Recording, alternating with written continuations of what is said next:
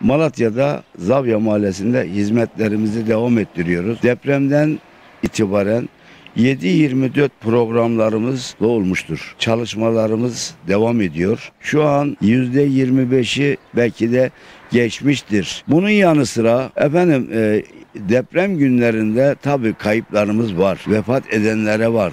Yani var. Allah'tan biz rahmet diliyoruz. E, bu karşımızda bir apan apartmanı vardı. Efendim orada bir binada 17 kişi de e, arama kurtarmada kurtardık.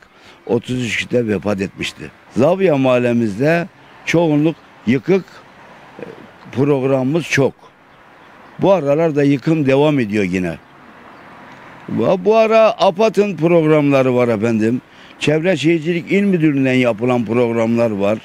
Bizim şu anki hak sahiplik programlarında Sayın Koordinatör Müdürümüz Erdal Bey, İl Müdürü kontrolünde Sayın Erdal Bey'in istişare yaparak devam ediyoruz.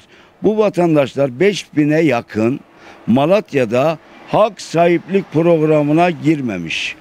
APAD'daki programlara katılmamış. istişare yapmamışlar. Biz bu konuda 5 günlük bir süreç açılıyor. Bu programı APAD'la istişare yaparak bu 5 5000 kişinin Malatya Zavya mahallemizdeki hak sahiplik programına girmeyenlere destek vererek yardımcı olacağız.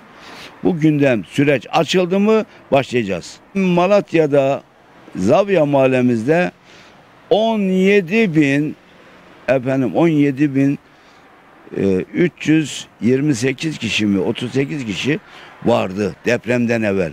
Ama bugünlerde e, Cumhurbaşkanı seçimimizde, milletvekili seçimimizde 14 bine düştü.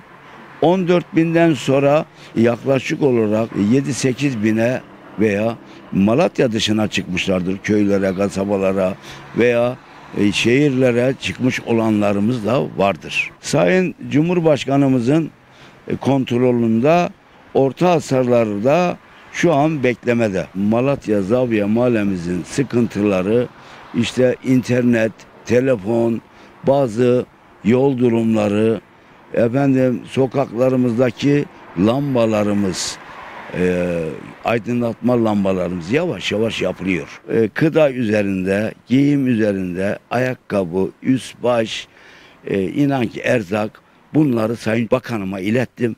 Bakanım burada tırlarla yıktırdı buraya. Sayın Osman Uğurlu kaymakamından buraya yıktırdı, gönderdi, dağıttık, verdik. Allah peygamber razı olsun.